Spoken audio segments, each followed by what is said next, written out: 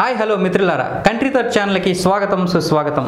నేను మీ పరశురాం మీరందరూ బాగుండాలి అందులో నేను ఉండాలి ఈ వీడియో కనుక మీకు నచ్చినట్లయితే లైక్ చేయండి షేర్ చేయండి కామెంట్ చేయడం మాత్రం మర్చిపోకండి. మీరు ఇంతవరకు ఈ ఛానల్ని సబ్స్క్రైబ్ చేసుకోకపోతే వెంటనే సబ్స్క్రైబ్ చేసుకోండి. ఇవే మాకు ఎంతో ఆనందాన్ని ఉత్సాహాన్ని ఇస్తాయి. Thank you. భారతదేశంలో గణేశుడు చాలా ప్రాచుర్యం గల వేలుపు. ఆ బాల వృద్ధులు ఆయనను కొలుస్తారు. పార్వతికి గణేశుడు వలె మరో ప్రీనందుడున్నాడు అతడే కార్తికేయుడు. శిశువుగా ఉన్నప్పుడే దేవతల సైన్యానికి అధిపతి అయి తారకను వంటి దుష్ట రాక్షసులను మట్టుపెట్టిన గట్టి జగజ్జెట్టి అతడు. కార్తికేయునికి ఎన్నో పేర్లున్నాయి. ఆరుగురు కృత్తికా దేవతలు అతనికి చనుబాలిచ్చి పెంచినందున కార్తికేయుడయ్యాడు. ఆరు ముఖాలు కలిగినందున షణ్ముఖుడయ్యాడు. సర్వజ్ఞుడైనందున సుబ్రహ్మణ్యుడయ్యాడని పేరుగాంచాడు. రాక్షస సంహారానికై పెద్ద సైన్యాల్ని సమీకరించినందువల్ల మహాసేనుడిగా ప్రఖ్యాతిగాంచాడు రాక్షసులతో జరిగిన పోరులో దేవతల సైన్యానికి నాయకత్వం వహించడం వలన సేనాని అనే బిరుదు కూడా పొందాడు. శివును జీవశక్తి నుండి ఆవిర్భవించినందున క్షందుడనే పేరు వచ్చింది. నెమలని వాహనంగా కలిగినందున సికివాహనుడయ్యాడు. నిత్య బాలుడు కావడం వలన కుమారుడయ్యాడు. కార్తికేయుడు కామధేయుడైన మన్మధుని మించిన సోయగం కలవాడు. శత్రువుల నుండి భక్తులను రక్షించేవాడైనందున గుహుడని కూడా అంటారు. ఇలాగే ఎన్నెన్నో పేర్లు అతనికున్నాయి జగత్ కళ్యాణం కోసం మహత్తరమైన సత్కార్యాలు చేస్తూ దేవతలుగా భావింపబడే వారికి ఇలా అష్టోత్తర శతనామాలు సహస్రనామాలు సైతం ఉండడం అబ్బురమేమీ కాదు. ఒకసారి పరమశివుడు కైలాసములో కొలువుదీరి ఉన్నాడు. ఆయన భక్తులైన దేవతలంతా అక్కడ చేరి ఉన్నారు. అక్కడ దివ్య సంగీతం ప్రతిధ్వనిస్తుంది. వాద్య పరికరాలు నాదంతో పాటు గాన మాధుర్యం వీణులు విందు చేస్తుంది. భృంగి నృత్యం చేస్తున్నాడు.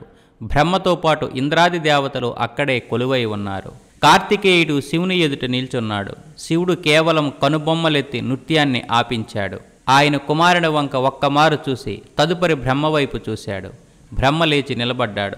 అంతా బ్రహ్మవంక చూస్తున్నారు.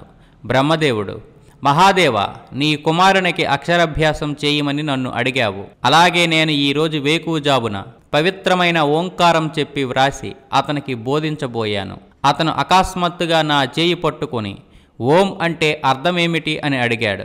వ్రాయడం నేరవక ముందే నువ్వు అర్థం అడగకూడదు అని నేను చెప్పాను. పరమేశ్వర అప్పుడు అతను నన్ను దూషించి కొట్టబోయాడు. తను పుట్టిన ఏడువ నాడే తారకాసురుణ్ణి వధించిన వాడికి నేనొక లెక్క. నాకు భయం వేసి అర్థం చెబుతానన్నాను. నేను ఓంకారం యొక్క ఆధ్యాత్మిక ప్రాముఖ్యతను పన్నెండు వేల శ్లోకాలలో వివరించాను. అయినా కూడా అతను సంతృప్తి చెందక బ్రహ్మదేవ నీకు తెలియదు అన్నాడు. ఇడుగో మీ ముందే నిలబడి ఉన్నాడు. ప్రవణమనబడే ఓంకారం యొక్క అర్థాన్ని మీరే వివరించండి. నేను ముందే వివరించిన దానికన్నా నాకింకేమీ తెలియదు అన్నాడు బ్రహ్మ. బ్రహ్మ మాటలు వింటూ శివుడు తన కుమారుడి ప్రజ్ఞాపాఠవాలకు మెచ్చుకోలుగా తలపంకించాడు ఆయన ఓంకార ప్రాముఖ్యాన్ని పన్నెండు లక్షల శ్లోకాలలో వివరించాడు. అప్పుడు కార్తికేయుడు తండ్రి బ్రహ్మకు తెలియదని నేననడం నా తప్పే అన్నాడు. కుమారుని వ్యంగ్యాన్ని శివుడు అర్థం చేసుకున్నాడు. తను కూడా అంటే శివుడు కూడా అజ్ఞాని ఏనని కుమారుని ఉద్దేశ్యమని ఆయనకు కొంచెం కోపం కూడా వచ్చింది. అయినప్పటికీ తన కుమారుడు అంతటి ప్రజ్ఞానిధి అయినందుకు ఆయనలో వాత్సల్యము గర్వము ఉప్పొంగాయి. అయితే ఈ ప్రణవానికి ఎన్ని అర్థాలున్నాయి అని శివుడు ప్రశ్నించాడు. పన్నెండు కోట్లు అని కుమారుడు కార్తికేయుడు సమాధానమిచ్చాడు. కుమారుడు జ్ఞాన సంపదను చూసి పరమశివుడు ఆశ్చర్యచకితుడయ్యాడు. ఈ జ్ఞాన సంపద అంతా జగత్ కళ్యాణానికి దారితీయాలనే భావంతో అప్పుడు శివుడు నాయన కుమార నీవు భూమిపై జన్మించి ఓంకార ప్రాముఖ్యాన్ని మానవులకు బోధించి వారు ఉన్నతులయ్యేందుకు సహాయపడు అని చెప్పాడు. కార్తికేయుడే తమిళనాడులోని శ్రీ కాశీ అనే చోట తిరుజ్ఞాన సంబంధులు అనే పేరుతో జన్మించాడని చాలామంది విశ్వాసం. ఆయన ఆధ్యాత్మిక జ్ఞానాన్వేషణను దైవ భక్తిని ధర్మ మార్గాన్ని ప్రబోధించాడు. శివుడు దాక్షాయిని వివాహమాడాడు. ఆమె తండ్రి దక్షుడు శివద్వేషి. ఈ ద్వేషం కారణంగా దక్షుడు తాను చేయి తలపెట్టిన ఒక యజ్ఞానికి తన స్వంత కుమార్తెను అల్లుడిని ఆహ్వానించలేదు. పిలవకున్న తనకు తానుగా యజ్ఞానికి వెళ్ళిన దాక్షాయిని పట్ల అతడు ప్రేమాధారాలు చూపక అగౌరవపరిచాడు. అవమాన భారంతో దాక్షాయిని అగ్నిలోకి దూకి మరణించింది. తక్కువ కాలంలోనే ఆమె పర్వతరాజు పుత్రికగా పార్వతీ పేరుతో జన్మించింది. పార్వతి పరమశివుడిని వివాహం చేసుకోవాలని నిశ్చయించుకుంది. కానీ ఆ సమయంలో పరమశివుడు ఉగ్రమైన తపోదీక్షలో ఉన్నాడు. సరిగ్గా అదే సమయంలో తారకుడనే దుష్ట రాక్షసుడు ముల్లోకాలను ముప్పు తిప్పలు పెట్టాడు. బ్రహ్మకుమారుడు మారీచి అతనికి కశ్యపుడనే కుమారుడున్నాడు. కశ్యపునికి ఇద్దరు భార్యలలో అతిథికి ఇంద్రాది దేవతలు జన్మించారు. వారంతా స్వర్గలోకములో ఉన్నారు. కశ్యపుని మరో భార్య తిథికి దైత్యులు లేక రాక్షసులు జన్మించారు. వీరంతా దుష్టులు. దేవతలను దేశించేవారు తితికుమారుల్లో వజ్రాంగుడొకడు. అతనికి భార్య వరాంగి ద్వారా తారకాసురుడు జన్మించాడు. తిథికుమారుల్లోని మరో రాక్షసుడు సురసనను పెండ్లాడాడు. ఆమెను మాయా అని కూడా అంటారు. వారి సంతానమే సూరపద్ముడు సింహముఖుడు అజాముఖి అనేవారు. తారకుడు పుట్టినప్పుడు అతడు భవిష్యత్తులో లోకకంటకడవుతాడనేందుకు చూసినగా ఎన్నో భయంకరమైన ఉత్పాతాలు కనిపించాయి. భూమి యావత్తూ వణికింది. తుఫాను చెలరేగింది. సముద్రాలు అల్లకొల్లాలయ్యాయి. పర్వతాలు సైతం గజగజ వణికాయి. ఆటవిక మృగాలు భయానకమైన ధ్వనులను చేశాయి.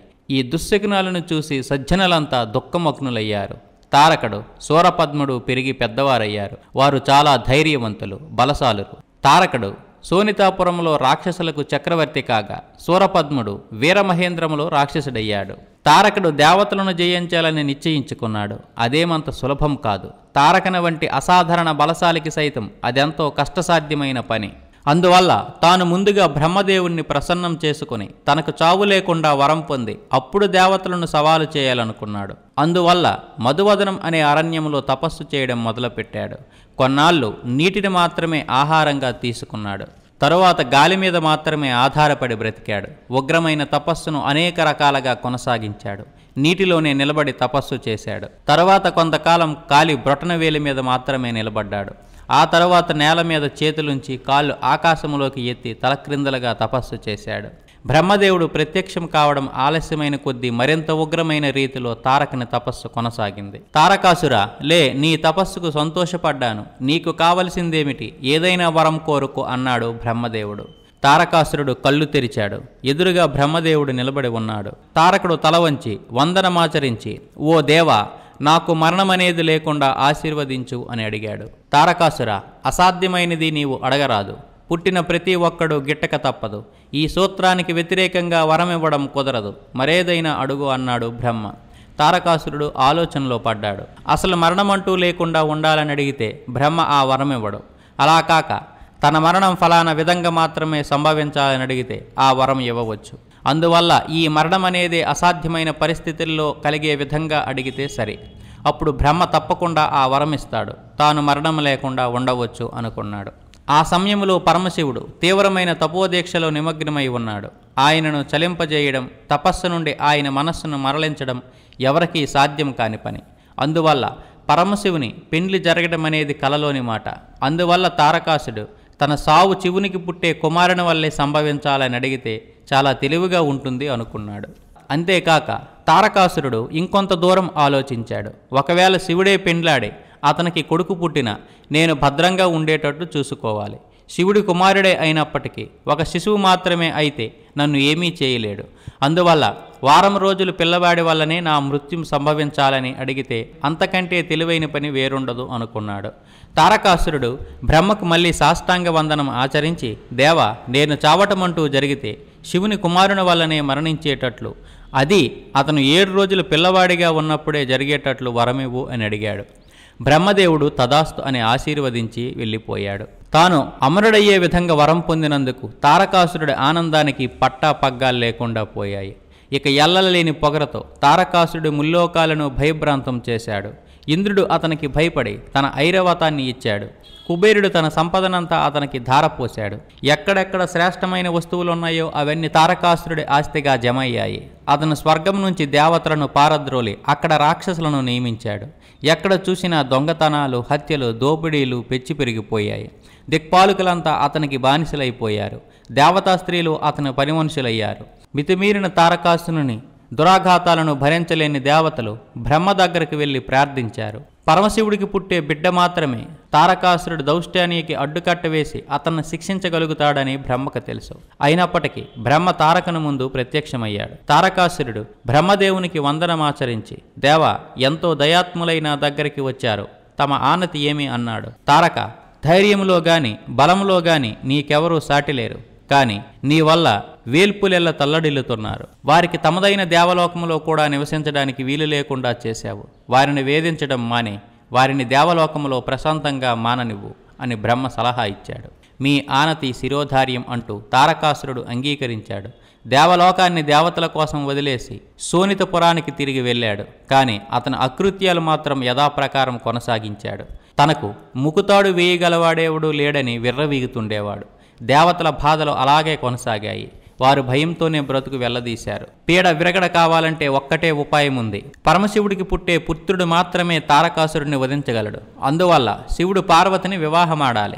పరమశివుడు పార్వతిపై దృష్టి సారించేటట్లు ఆమెను వివాహమాడేటట్లు మీరు చేయాలి అని బ్రహ్మ దేవతలకు చెప్పాడు. అంతటి కష్టమైన పనిని దేవతలు నెరవేర్చారు. శివుడు పార్వతిని చూసే విధంగాను ఆమె తపస్సుకు భక్తికి ఆయన ప్రసన్నుడయ్యే విధంగాను చేయగలిగారు. శివపార్వతుల కళ్యాణం జరిగింది. కాలక్రమంలో మార్గశిర శుద్ధ షష్ఠి నాడు పార్వతి ఒక పుత్రుడికి జన్మనిచ్చింది. అందుకే ఆ రోజున స్కంద షష్ఠి అంటారు. పుట్టినప్పుడే కార్తికేయుని చేతుల్లో శక్తి శూలం మహాస్త్రం అనే దివ్యాయుధాలున్నాయి. అతని పుట్టిక గురించి తెలిసిన ఆరుగురు కృత్తికా దేవతలు వచ్చి అతనిని లాలించారు.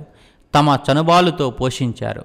ఎంతైనా కార్తికేయుడు పరమశివుని పుత్రుడు కదా అందువల్ల శక్తిమంతుడు బలోపేతుడు కావడానికి అతనికి ఎక్కువ కాలం పట్టలేదు. కొద్ది రోజులకే అతని దేహం బలశక్తులను సమీకరించుకుంది. అద్భుతమైన తేజస్సు అతనిని ఆవరించి ఉండేది. అతని ప్రజ్ఞా పాఠవాలు అపారమైనవి. అతనిలో పరాక్రమం సద్గుణాలు మిళితమయ్యాయి. సకల విద్యలు అతనికి కరతలామలకమయ్యాయి. భావ వ్యక్తీకరణ శక్తి ఇట్టే పట్టుబడింది. అతనిని చూసిన వారెల్లరూ ఆనందోత్సాహాలతో ఉబ్బి తబ్బెయ్యి అవుతుండేవారు శివపార్వతుల నివాసమైన కైలాసం నిత్య కళ్యాణం పచ్చతోరణంగా కలకలలాడుతుండేది. స్వయంగా బ్రహ్మదేవుడే కుమారునికి జాతక కర్మాది సంస్కారాలు చేశాడు. దుష్ట శిక్షణ శిష్టరక్షణ చేసి ధర్మస్థాపన చేయుదువుగాక అని శివపార్వతులు కుమారుడిని ఆశీర్వదించారు. శివుడు కుమారుడిని నవరత్న ఖచ్చితమైన సింహాసనం మీద కూర్చోబెట్టి పవిత్ర నదీ జలాలతో అభిషేకించి అతనిని దేవతల సైన్యానికి అధిపతిగా ప్రకటించాడు. ఆ సమయంలో వివిధ దేవతలు కార్తికేయునికి పలు శక్తివంతమైన ఆయుధాలను అద్భుత శక్తులను కానుకలుగా సమర్పించారు. సూర్యుడు అతడికి మనోవేగంతో పయనించే రథాన్ని కానుకగా ఇచ్చాడు. యముడు దండాయుధాన్నిచ్చాడు. అగ్నిదేవుడు మహాశక్తినిచ్చాడు. అరుణుడు కాలం యొక్క శాశ్వతత్వానికి ప్రతీకగా కుక్కుట పక్షినిచ్చాడు. కుక్కుటం అంటే కోడుపుంజు. కార్తికేయుని ధ్వజసిహ్నము కూడా అయ్యింది.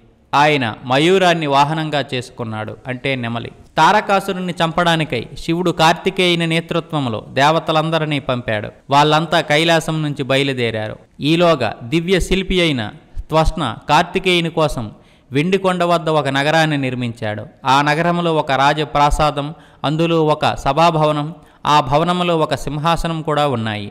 మహావిష్ణువు కార్తికేయుని ఒక మహోత్సవంలో ఆ సింహాసనంపై కూర్చుండబెట్టి అతనిని సకల విశ్వానికే అధిపతిగా ప్రకటించాడు. కార్తికేయుడిప్పుడు విశ్వ సంరక్షకుడయ్యాడు. తారకాసురుని అంతమొందించడానికై కార్తికేయుని ఆధ్వర్యంలో దేవతల మహాసేన ఏర్పడింది. అరహర మహాదేవ్ అనే యుద్ధ విమానాలు దుంది విద్వానాలు సమరభేరీల శబ్దాలు ప్రతిధ్వనించాయి. యుద్ధం ప్రారంభించడానికి ముందు శత్రువు వద్దకు దూతను పంపి నైతిక సూత్రాలకు కట్టుబడవలసిందిగాను సంధికి సహకరించవలసిందిగాను అడగడం పరిపాటి. అలాగే ఇంద్రుడు తారకాసురుని వద్దకు ఒక దూతను పంపించాడు. ఆ దూత తారకాసునితో నీవీ ప్రపంచానికి ఎంతో అన్యాయం చేశావు. త్రిలోకాధిపతి అయిన ఇంద్రుడు ఇప్పుడు నిన్ను హతమార్చడానికి వస్తున్నాడు. నీకు ప్రాణాల మీద తీపి ఉంటే అతనితో సంధి చేసుకో లేదా యుద్ధానికి సిద్ధపడు అని చెప్పాడు. తారకుడి కోపానికి హద్దులు లేకుండా పోయాయి. మూర్ఖుడా ముందు నా ఎదుటి నుంచి బయటపడు అని దూషించి ఆ దూతను పరుగు పెట్టించాడు అటువంటి దూత రావడం తనకు చిరాకుపరచడం తారకుడికి ఆశ్చర్యం కలిగించింది. అందువల్ల మనసులో ఈ ఇంద్రుడి సత్తా యాపాటిదో చాలాసార్లు చూశాను. వాడు నా చేత ఎన్నో మార్లు తన్నులు తిని క్రింద పడి వాడు బలంగా పడ్డ చోటల్లా గడ్డి కూడా మొలవడం లేదు. మా ముత్తాత అయిన బ్రహ్మదేవుడి మాట పాటించి నేను దయా దాక్షిణ్యాలు చూపిస్తూ వాడి కోసం దేవలోకాన్ని వదిలిపెట్టాను. ఇప్పుడు ఇలా మిడిసిపడుతున్నాడు. ఇంతకీ వీడికి ఇంత ధైర్యం ఎలా వచ్చింది? ఈ మధ్య నాకు వరుసగా ఏవో దుశ్శకనాలు కనిపిస్తున్నాయి. నా ఎడమ కన్ను అదురుతుంది. చాలా ధూళి ఆకాశంలోకి ఎగుస్తుంది. అడవి మృగాలు భయంకరంగా కూస్తున్నాయి. మింటి నుంచి రక్తవర్షం కురుస్తోంది. ఈ దుశ్శకునాలకు ఏదో అర్థం ఉండే ఉంటుంది. శివుడికి కుమారుడు పుట్టి ఉంటాడు. ఆ కారణం చేతనే అయి ఉండొచ్చు. ఇంద్రుడు ధైర్యం చూపిస్తున్నాడు అనుకున్నాడు. అలా ఆలోచిస్తూ తారకాసురుడు మెట్లు మీదుగా తన ప్రాసాదపు అగ్రభాగానికి వెళ్ళి ఎంతో దూరానికి దుష్టిచారించి పరీక్షగా చూశాడు. అప్పుడు అతనికి దూరాన ఎక్కడో పిడుగుపడ్డవలే దేవసైన్యం యొక్క యుద్ధ నినాదాలు వినిపించాయి. రథ గజ తురంగ పధాతులనే చతురంగ బలసేతమై ఒక మహాసైన్యం సంచలనం చేస్తూ రావడాన్ని గమనించాడు. దుందుబి ద్వాణాలు పనవానక భేరీ శంఖ నినాదాలు దూరాన్నుంచి వినిపిస్తున్నాయి. అలా ముందుకు వస్తున్న సేనకు సరిగ్గా మధ్యభాగములో ప్రకాశిస్తున్న ఒక రథములో శ్వేతచక్రం కింద సకలాయుధ సంపన్నుడై కార్తికేయుడు కూర్చొని ఉన్నాడు. దూసుకు వస్తున్న ఆ రథంపై కాసాయిపు రంగు కుక్కుట ధ్వజం రెపరెపలాడుతుంది. తనను ఎదుర్కోవడానికి వస్తున్నవాడు శివనందనుడేనని తారకాసురుడికి అప్పటికి అర్థమైంది. బ్రహ్మనడిగి పొందిన వరం గుర్తుకు వచ్చింది. ఇక తన పని ముగిసినట్లేనని నిలువెల్లా వణికిపోయాడు. అయితే తన అనుచరుల ఎదుట భయం ప్రదర్శించదలుచుకోలేదు. భయం లేనట్లే అభినయించాడు. యుద్ధానికి సన్నాహాలు చేయడానికై తన సేనాధిపతులను పిలవడం ప్రారంభించాడు. ఎగిసిపడే సముద్ర తరంగాల మాదిరిగా రాక్షస సైన్యం ముందుకు సాగింది. యుద్ధానికి సన్నద్ధులైన దేవతలు దానవులు తమ తమ సైన్యాలతో బారులు తీరి ఉన్నారు. పోరాటం మొదలైంది. సోలాలు ఖడ్గాలు ధనుర్బాణాలు గదలు గండ్రగొడ్డళ్ళు పాసాలు మరెన్నో రకాలైన ఆయుధాలతో వ్యూహ ప్రతివ్యూహాలతో భయంకరమైన యుద్ధం జరుగుతోంది. యుద్ధ రంగంలో వేలాది మంది మరణించారు. మరెన్నో వేల మంది గాయపడ్డారు.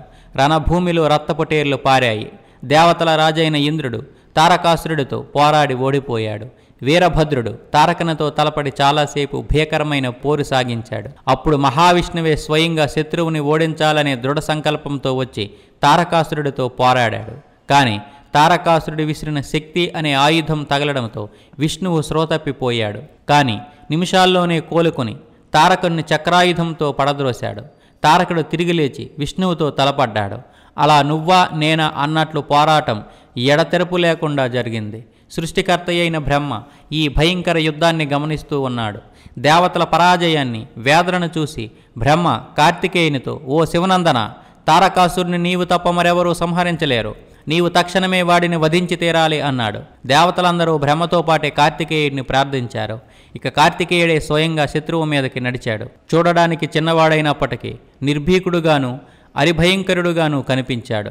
తారకాసురుడితో తలపడగా తారకుడు కత్తి దూసి దేవతల వంక చూస్తూ పిరుకు పందలారా నన్ను ఎదుర్కోవడానికి ఈ పాలబొగ్గల పసివాడిని తెచ్చారు. మీకు సిగ్గులేదా మీ పౌరుషమంతా ఎక్కడికి పోయింది? ఇంద్రుడు విష్ణువు శివుడు కూడా చెవటలేనా? తాము స్వయంగా ఏమీ చేయలేక పులినోటికి లేకదూడనందించినట్లు నాతో పోరాడడానికి ఈ పసిగుడ్డును పంపారు. ఈ పిల్లవాడిని నేను చంపివేయడం ఖాయం. కానీ నా వంటి దానవాగ్రేసురుడికి ఇది పాపకర్మే అవుతుంది అంటూ అరిచాడు. అటువైపున తారకాసురుడు కార్తికేయుని వైపు తిరుగు. ఇదిగో పిల్లవాడా వేలడంత లేవు. నీకు పోరాడాలన్న సరదా ఉంటే ఏదన్నా ఆటలో గాని కుస్తీలో గాని నీ నేస్తగాళ్ళతో పెట్టుకో. వెనక్కి వెళ్ళిపో. కావాలంటే నాతో పోరాడడానికి మీ నాన్నను పంపించు అన్నాడు. అందుకు సమాధానంగా కార్తికేయుడు తారక విను నిజమే నేను చిన్నవాడిని. కానీ నా పరాక్రమం చిన్నదేమీ కాదు. ఉదయభానుడి ముందు చీకట నిలువగలదా? విస్తారమైన అరణ్యాన్ని నాశనం చేయడానికి చిన్న నిప్పురవ్వ చాలదా? అంతు చెక్కని ఆధ్యాత్మిక నాదం ఓం అనేది ఒక్క అక్షరమే అయినా దాని మహిమ అపారం కదా?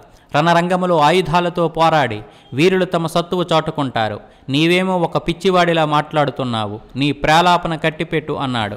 ఆ పైన ఉభయులు భయంకరమైన పోరాటాలు చేశారు. ఇద్దరూ శక్తి ఆయుధాన్నే చేపట్టారు. ఆరు ముఖాలున్న కారణంగా షణ్ముఖుడుగా పిలువబడే దివ్య బాలుడు తారకన భయంకరమైన దెబ్బకు ఒక్కసారి తూలిపడ్డాడు. కానీ ఆగ్రహించిన సింహముల వెంటనే లేచి తారకనపై లంఘించి అతనిని క్రింద పడేశాడు. తారకుడు నిలదొక్కుని తిరిగి లేచాడు. దేవతలందరూ భయంతో గజగజలాడుతున్నారు.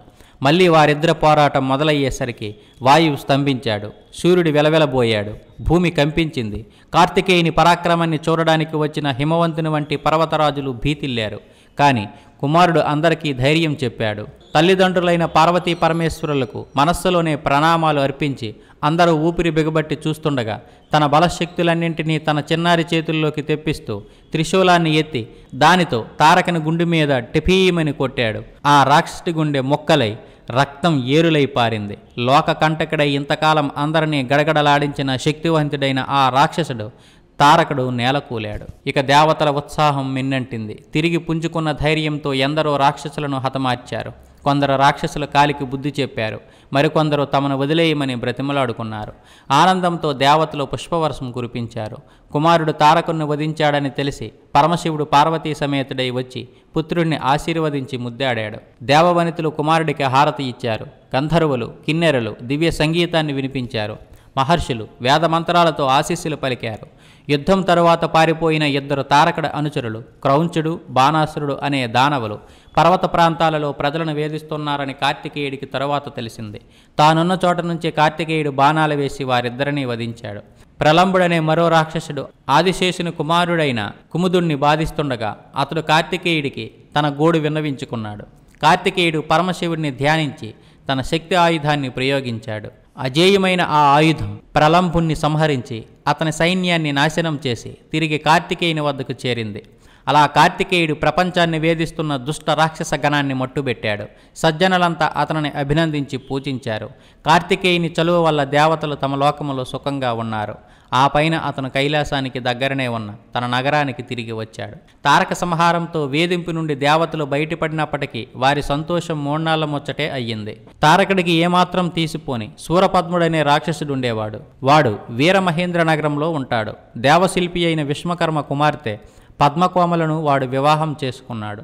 వాడికి భానుకోపుడు అగ్నిముఖుడు హిరణ్యకుడు వజ్రబాహు మొదలైన సూరులైన దుష్టకుమారులున్నారు.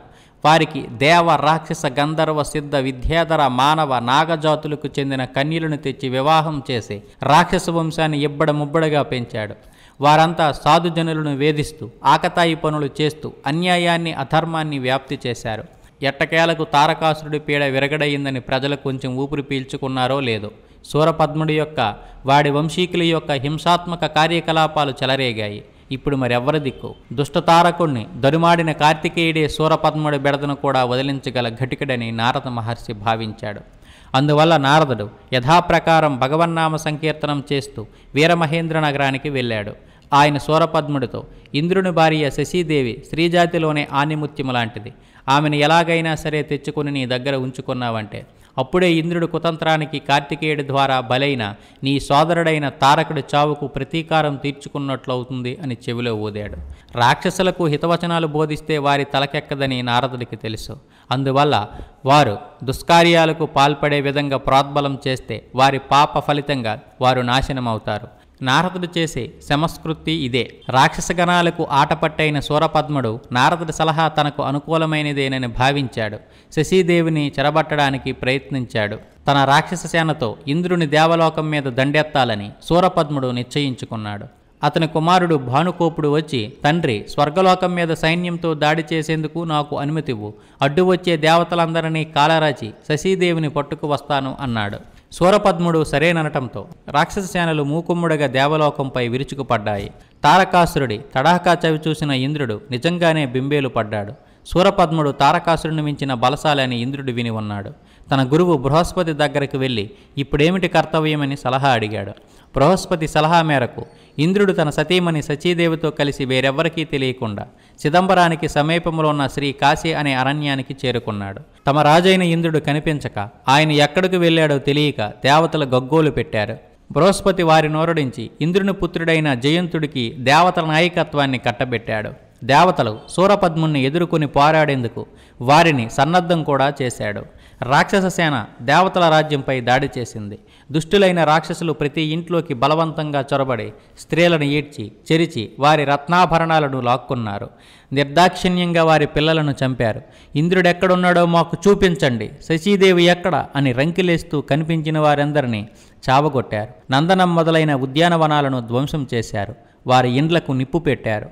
దేవతల సైన్యం రాక్షస మోకలను ఎదిరించింది. భానుకుడు రేణుకుడు వంటి సేనానులు పోరాడి ఓడిపోయారు. జయంతుడు యుద్ధరంగానికి వచ్చి ధైర్య సాహసాలతో పోరాడాడు. కానీ భానుకోపుడు అతన్ని ఓడించి బందీగా తీసుకెళ్ళాడు. దేవతల రాజ్యమైన స్వర్గలోకమంతా గాలించినప్పటికీ ఇంద్రుడు సచీదేవుల జాడ తెలియలేదు. భానుకోపుడు స్వర్గలోకపు అపార సంపదను కొల్లగొట్టి బందీలైన దేవతల చేత మోయిస్తూ రాజధాని అయిన వీరమహేంద్రానికి తిరిగి వచ్చాడు. బృహస్పతి తదితర దేవతలు శ్రీ కాశీ వద్దనున్న అరణ్యానికి వెళ్ళి ఇంద్రుడితో రాక్షసులు ఎలా స్వర్గాన్ని దోపిడీ చేశారో వివరించారు. ఇంద్రుడు శశీదేవి ఎంతగానో బాధపడ్డారు. ఆ అరణ్యానికి అధిష్టాన దైవమైన శాస్త్రుని రక్షణలు వదిలి బృహస్పతి మొదలైన దేవతలతో కలిసి బ్రహ్మ వద్దకు వెళ్ళారు. వారంతా కలిసి పరమశివుడి వద్దకు వెళ్ళారు. మీరంతా ప్రస్తుతానికి రజతాద్రి సమీపాన ఉన్న కాకాచలం వెళ్ళి అక్కడ సురక్షితంగా ఉండండి. సురపద్ముణ్ణి కార్తికేయుడి వధించి మీ బాధలను మాపేటట్లు నేను చూస్తాను అని అభయమిచ్చాడు దాంతో సరేనని దేవతలంతా కాకాచలం వెళ్ళారు. శశిదేవి ఎక్కడ దాక్కుందో నేను కనిపెడతానని సూరపద్ముడి చెల్లెలు అజాముకు చెప్పి తన అన్న అనుమతి తీసుకుని బయలుదేరింది. తెలివితో ఆ స్థావరాన్ని కనిపెట్టింది. దేవతల రూపం ధరించి శశిదేవితో మాట్లాడింది. నాతో రా సూరపద్ముడి భవంతికి పోదాం అక్కడ నువ్వు సుఖంగా ఉండొచ్చు అని చెప్పింది. కానీ అందుకు శశీదేవి ఒప్పుకోలేదు. అప్పుడు అజాముఖి ఆమెను బెదిరించింది. శశీదేవి సంరక్షకులు అజాముఖిని పట్టుకొని ఆమె చేతులు నరికేశారు. ఆమె బాధతోనూ కోపంతోనూ కేకలు పెడబొబ్బులు పెడుతూ తన అన్న దగ్గరకు పరుగులు తీసింది. ఇంద్రుడు శశీదేవిని కాకాచలానికి తీసుకువెళ్ళి అక్కడ సురక్షితంగా ఉంచాడు. చెల్లికి జరిగిన పరాభవాన్ని చూసి సూరపద్ముడిలో బాధ కోపం పెళ్ళిబుకాయి. ఈ దేవతలకు గుణపాఠం నేర్పుతాను. నీ పరాభవానికి తగ్గ ప్రతీకారం తీర్చుకుంటానని గర్జించాడు.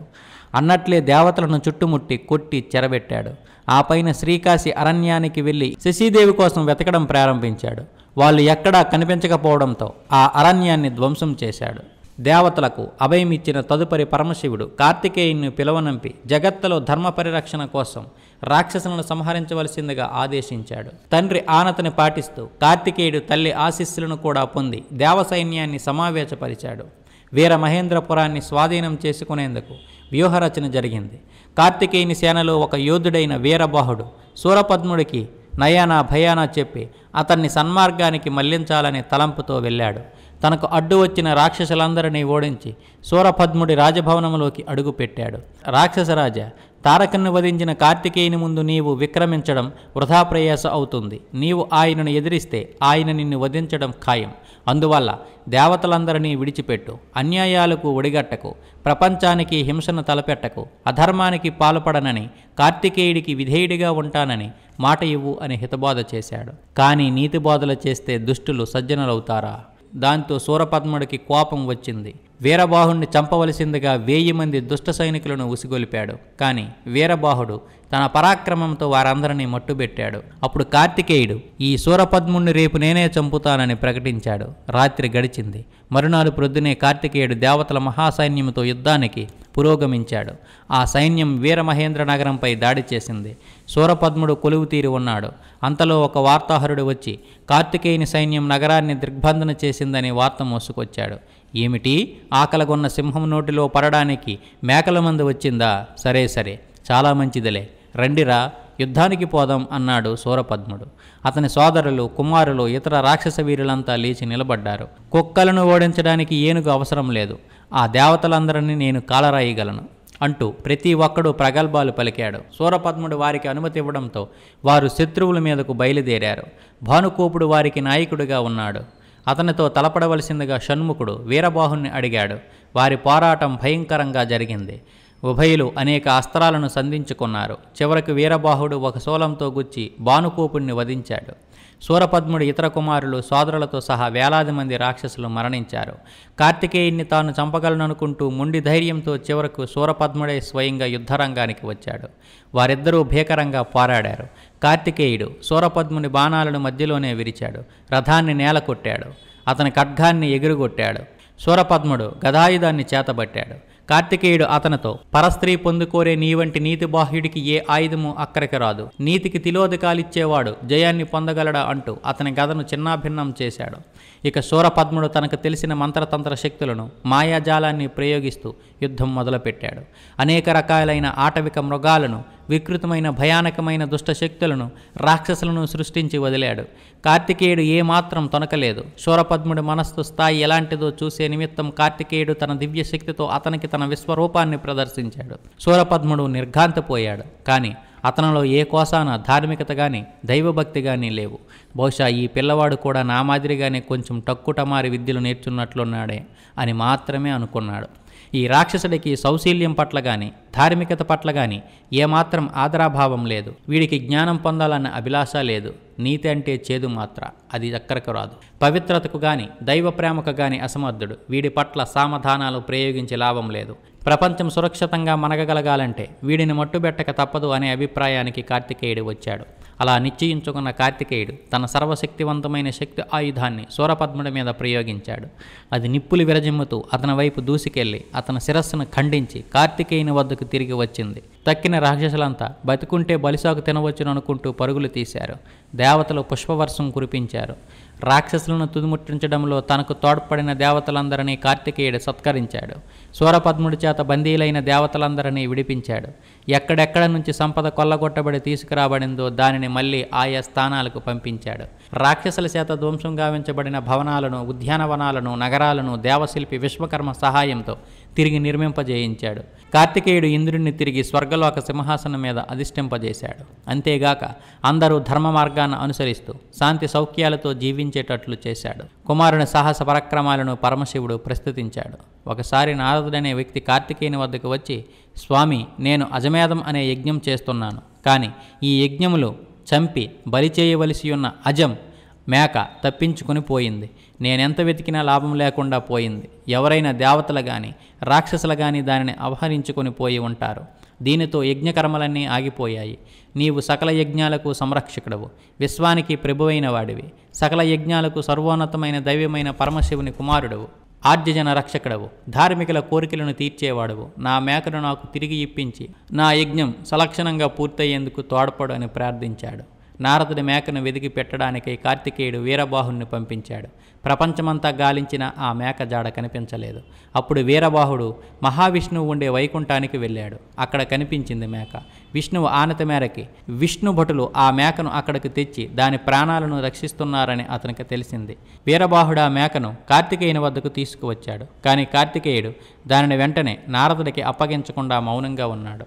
అప్పుడు నారదుడు కార్తికేయునితో మళ్ళీ స్వామి నా మేకను నాకు ఇప్పించండి నేను దానిని బలిచ్చి నా యజ్ఞాన్ని పూర్తి చేసుకుంటాను అన్నాడు.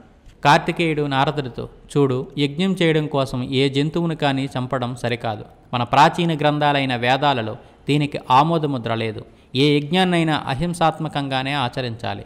అజ అంటే మేక కాదు పుట్టినది అంటే బియ్యమని అర్థం. ఉడికించిన బియ్యాన్ని అగ్నిదేవుడికి సమర్పించే యజ్ఞాన్నే అజమేధం అంటారు. కనుక హింసకు పాల్పడకుండా యజ్ఞాన్ని పూర్తి చేయి. అప్పుడే నీకు నీ యజ్ఞం వల్ల పుణ్యము పురుషార్థము దక్కుతాయి అని చెప్పాడు. యజ్ఞం గురించిన ఈ చక్కని వివరణను నారదుడు సమ్మతించాడు. కార్తికేయుని అనుమతితో మేకను తీసుకున్నాడు కానీ దానిని చంపలేదు. దానిని పెంచుకున్నాడు. యజ్ఞాన్ని అహింసాయుతంగా చేసి భావితరాలకు చక్కని ఆదర్శాన్ని నిలిపాడు. విశ్వశ్రేయస్సు కోసం అసాధారణ ధైర్య స్థైర్యాలను ప్రదర్శించిన బాలురలో అగ్రగణ్యుడు కార్తికేయుడు. శివుడిగా ఉండగానే సాటిలేని మేటి యోధుడిగా ఘనుతికెక్కాడు.